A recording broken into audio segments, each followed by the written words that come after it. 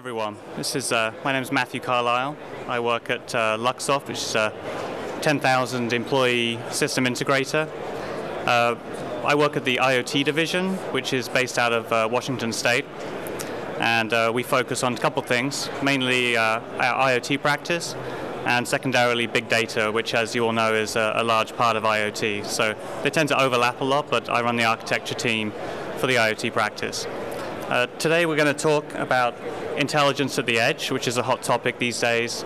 Uh, it's about putting intelligence on devices at the edge. Um, actually ties in quite nicely with uh, B Square's presentation they just made regarding data collection and processing. So let's go ahead and get started. So first we'll talk about the current model, uh, and I'm going to use a specific example. Uh, and the example is a, a, Raspberry Pi device, which is a, a relatively powerful edge sensor, uh, a little Linux box running an ARM processor, and it's collecting humidity data at a fairly high frequency. You know, it could be a couple times a second, 10 or 100 times a second.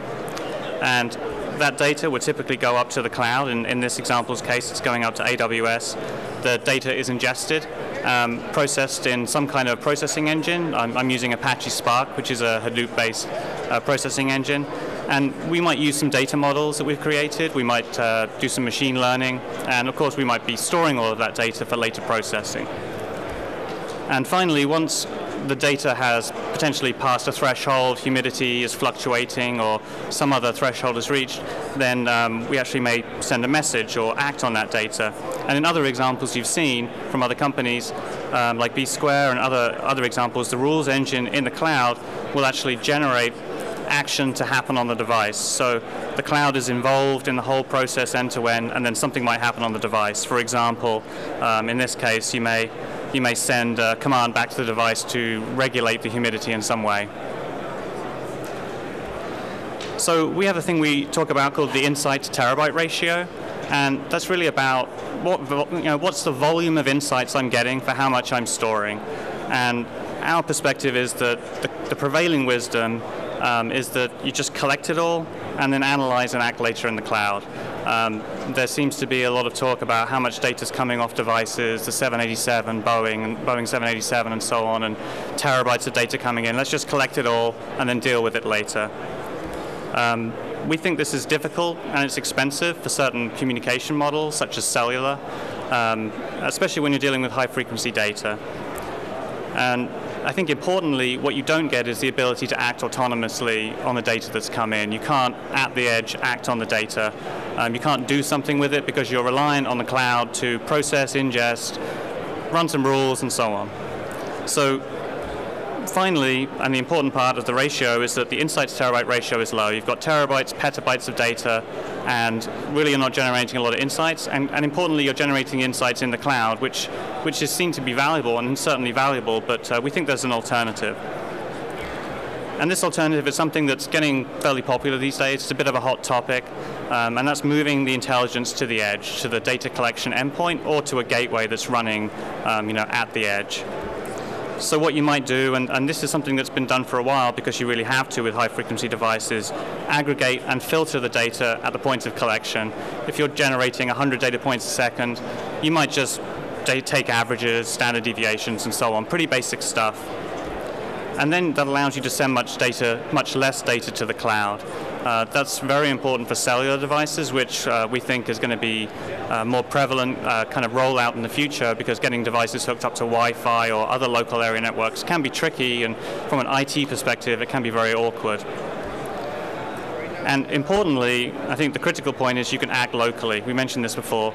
Um, you can't act locally on processed data if all you're doing is collecting it to, and sending it to the cloud and waiting for the cloud to tell you to do something.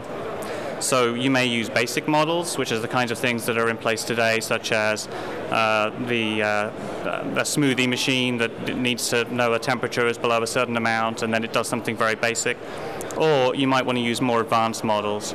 Um, we think the more advanced models is, is what's going to be happening. Everyone talks about machine learning, and so we think that if you can move machine learning processing out to the device, uh, then you can do more complicated things and you can act on that data quickly. So let's talk about the challenges of that because if this is very obvious, then I think everyone will be doing it now. Um, the first challenge we think is the increased computational requirement. There's a lot of devices out there that really don't have a lot of computing power. You've got 64 kilobytes of RAM. You have a no, you don't have Linux running on it. You have a very basic RTOS running on the device. So the solutions, I mean, first optimize. That's always the first solution then you just buy faster hardware. I mean, that's the easy, just throw money at the solution. That's very difficult when it comes to washing machines. Um, and then the third solution is to kind of wait. Moore's Law will fix it in two to five years. Even a washing machine is going to have a, a dual core processor on it, and it'll cost five bucks. So making generated models operational. So a lot of model creation is done in the cloud. You have data scientists running statistical algorithms, machine learning, but how do you take that and actually deploy it at the edge? We think, we think trying to align on the tool set is important here. If you have data scientists working with Spark and um, you know, programming in Python and R, then on the cloud, then it would be easier to deploy those solutions if you could then use similar tool sets, if not the same tool sets, at the edge. That way you're not having to transfer your models from your data science organization to your embedded software organization and get them recoded in C and maybe they don't work, maybe they do work. It's very difficult to, to run those kinds of solutions. So as an example, use Linux, Java, Apache Spark, and machine learning as one example of what you might do both in the cloud and on the device centrally managing and updating those models. There's no point in being able to update your models and have data scientists work in the cloud if it's not easy to deploy those updated models out to your devices. Doing firmware updates um, in a monolithic fashion to the field is, is difficult and it's risky and it's something that, that tends to be avoided. If you are generating a new machine learning algorithm every week, like a Netflix might be doing, for example, then how do you get that model out to the device every week so that you can actually gain benefit from it?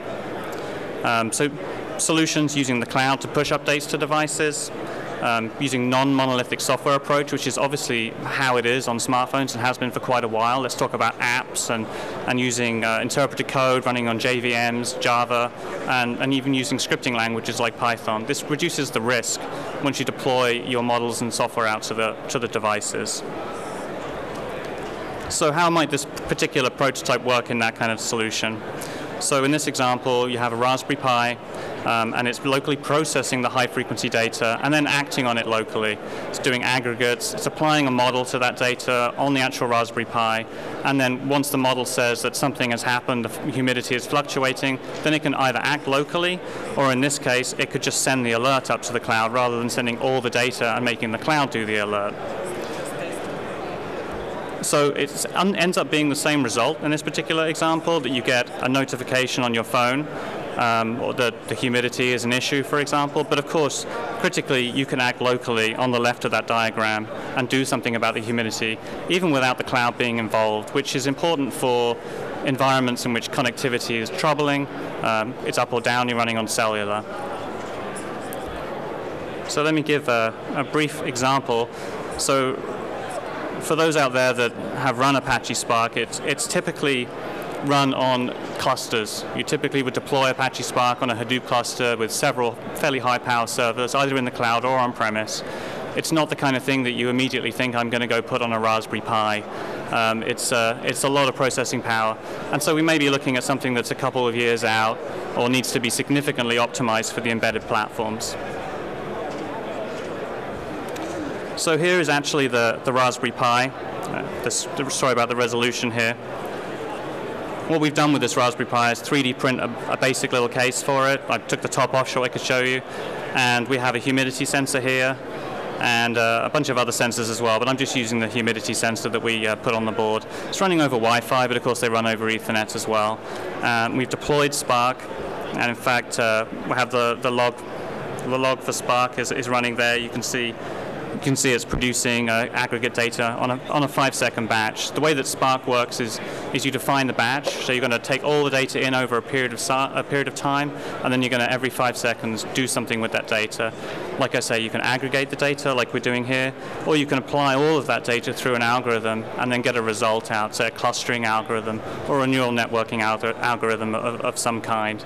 So let's take a look at this running. This uh, kind of relying on a, a local network here. So if I hit refresh, if the demo gods are on my side, what we should see is that Spark running on this device, it's running a little web server, which is one of the other reasons it's a fairly high power requirement, and it's actually processing the real-time data coming in, and, uh, and as you can see, we're talking about a processing time of about two seconds per batch, and it's fairly stable. Um, in terms of computational requirements, this is using several megabytes of RAM. It is not something you're going to put on a small device, um, but it is also not optimized. I've basically downloaded Apache Spark from the internet and put it on this device. I've not done anything to make it smaller, and uh, and I've not done anything that would really make it particularly optimal for this platform. But uh, as you can see, as is, you can download Spark. This device has Java on it, and you can just run it and collect data locally and do something with that data. So me go, go back in here. Can't actually see what I'm typing.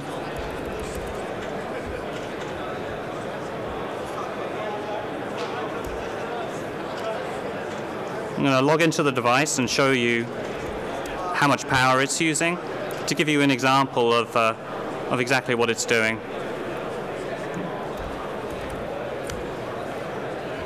So you, what you'll see is that we're using a fair amount of RAM. This device has a gigabyte of RAM, so it is, as I said, it is not a washing machine, but it is indicative of the kinds of devices that you get out in the field for your heavier industrial appliances.